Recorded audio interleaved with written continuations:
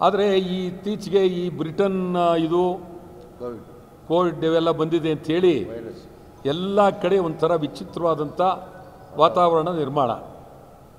ಅದಕ್ಕಾಗಿ ಜನವರಿ ಇದೇ ತಿಂಗಳು ಮೂವತ್ತನೇ ತಾರೀಕು ಶನಿವಾರ ಇಪ್ಪತ್ತು ದಿನ ಮುಂದಕ್ಕೆ ಹಾಕಿದ್ದೀವಿ.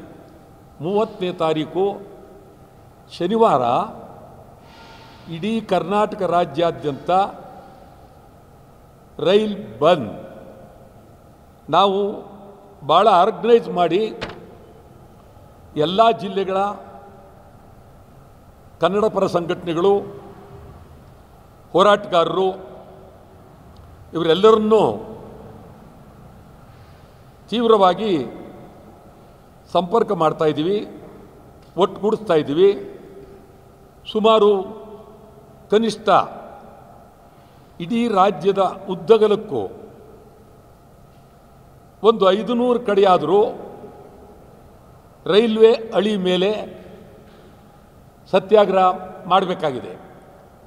ಇದು ಪ್ರಪ್ರಥಮವಾಗಿ ರಾಜ್ಯದಲ್ಲಿ ನಡೀತಾ ಇರತಕ್ಕಂಥದ್ದು. ರೈಲ್ವೆ ಇಲಾಖೆ ವಿರುದ್ಧ ಅಲ್ಲ.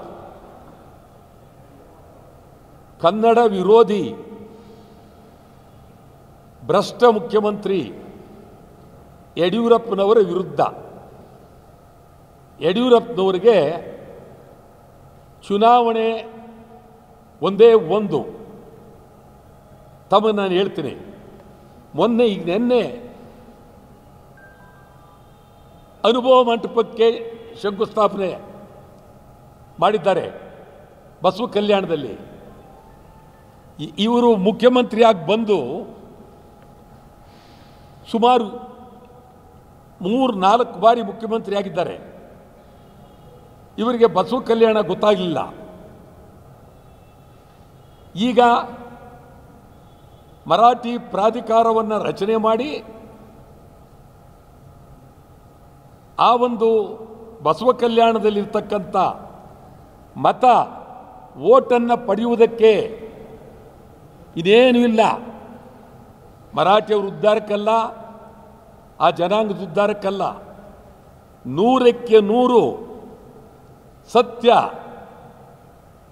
ಮರಾಠಿ ಓಟನ್ನು ಪಡೆಯೋದಕ್ಕೆ ಪ್ರಾಧಿಕಾರ.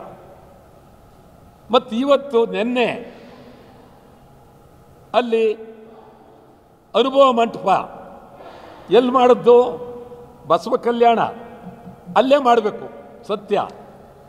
ಇದನ್ನು ಹೀಗೆ ಮಾಡಬೇಕಾಗಿತ್ತು ನೀವು? ಸಂತೋಷ ನಮಗೆ. ನೀವು ಬಸವ ಕಲ್ಯಾಣದಲ್ಲಿ ಅನುಭವ ಮಂಟಪ ಸಂತೋಷ. ಆದರೆ ಈ ಚುನಾವಣೆಗೋಸ್ಕರ ಆರುನೂರು ಕೋಟಿ ರೂಪಾಯಿನಲ್ಲಿ ಅನುಭವ ಮಂಟಪಕ್ಕೆ ಶಂಕುಸ್ಥಾಪನೆ ಮಾಡಿದ್ರು. ಯಾರು ಶಂಕುಸ್ಥಾಪನೆ ಮಾಡಿದವರು? ಬಸವಣ್ಣನ ತತ್ವ ಸಿದ್ಧಾಂತಗಳಿಗೆ ವಿರುದ್ಧವಾದಂಥ ಭ್ರಷ್ಟ ಮುಖ್ಯಮಂತ್ರಿ ದೇಶ ಕಂಡಂಥ ಭ್ರಷ್ಟ ಮುಖ್ಯಮಂತ್ರಿ ಯಡಿಯೂರಪ್ಪನವರಿಂದ ಶಂಕುಸ್ಥಾಪನೆ. ಇದು ಬಸವಣ್ಣನವರಿಗೂ ಅಪಚಾರ ಅಲ್ಲಮ ಪ್ರಭುಗೂ ಅಪಚಾರ. ಬಹಳ ಅಪಚಾರ ಇದು. ಇದು ಮಾಡಬಾರ್ದಾಗಿತ್ತು ಅವರು. ಬೇರೆ ಯಾರಾದರೂ ದೇಶದಲ್ಲೋ, ಕರ್ನಾಟಕದಲ್ಲೋ ಯಾರಾದರೂ ಒಬ್ಬ ಯತಿ ಮುನಿ ಇದ್ದರೆ ಕರ್ಕೊಂಬಂದು ಅವ್ರ ಕೈಲಿ ನೀವು ಶಂಕುಸ್ಥಾಪನೆ ಮಾಡಬೇಕಾಗಿತ್ತು. ನೀವು ನೀವು ಯಾರು ನೀವು? ನಿಮಗೂ ಬಸವಣ್ಣ ತತ್ವಕ್ಕೂ ಸ್ವಲ್ಪ ಸಂಬಂಧವೇ ಇಲ್ಲ. ನೀವು ಹೋಗಿ ಎಲ್ಲಿ ನಿನ್ನೆ ಶಂಕುಸ್ಥಾಪನೆ ಮಾಡಿದ್ದೀರಿ. ಈಗ ಇಲ್ಲಿ ಇನ್ನೊಂದು ಹದಿನೈದು ದಿವಸದಲ್ಲಿ ವಿಧಾನಸೌಧದಲ್ಲಿ ಮರಾಠ ಮಂಡಳಿಗೆ ಕಾರ್ಯಾಲಯ ಕೊಡ್ತಾ ಇದ್ದೀರಿ. ಈಗಾಗಲೇ ಅವ್ರನ್ನ ಕೇಳಿದ್ದಾರೆ. ಯಾರು? ನಿಮ್ಮಲ್ಲಿ ಚೇರ್ಮನ್ ಆಗೋರು ಯಾರಿದ್ದಾರೆ ಅಂತ. ಅವರು ಮರಾಠಿಯವರು ಒಬ್ಬರನ್ನ ಕೊಡ್ತಾರೆ. ಅವರಲ್ಲಿ ಒಂದು ಕಾರ್ಯಾಲಯ ವಿಧಾನಸೌಧದಲ್ಲಿ ಮಾಡ್ತಾರೆ. ಇದೆರಡು ಅದಕ್ಕೆ ಐವತ್ತು ಕೋಟಿ, ಇದಕ್ಕೆ ಆರುನೂರು ಕೋಟಿ, ಈಗ ನೂರು ಕೋಟಿ ಬಿಡುಗಡೆ. ಇದು ಯಾರಿಗೆ? ಯಡಿಯೂರಪ್ಪನವ್ರ ಜವಾಬ್ದಾರಿ ಕೊಡ್ತಾ ಇಲ್ಲ. ಅವ್ರ ಮನೆಯಿಂದ ಕೊಡ್ತಾ ಇಲ್ಲ. ಸರ್ಕಾರದ ದುಡ್ಡು ಯಾರಿಗೆ? ಚುನಾವಣೆಗೆ. ಚುನಾವಣೆಗೋಸ್ಕರ ಕೊಡ್ತಾ ಇರತಕ್ಕಂಥದ್ದು. ಬಸವ ಕಲ್ಯಾಣದ ಜನ ಎಚ್ಚರ ಎಚ್ಚರವಾಗಿರಿ. ಈ ಮಾಯಾವಿಯ ನಾಟಕಕ್ಕೆ ಯಾರು ಬಲಿಯಾಗಬೇಡಿ. ಎಚ್ಚರ ಇರಿ.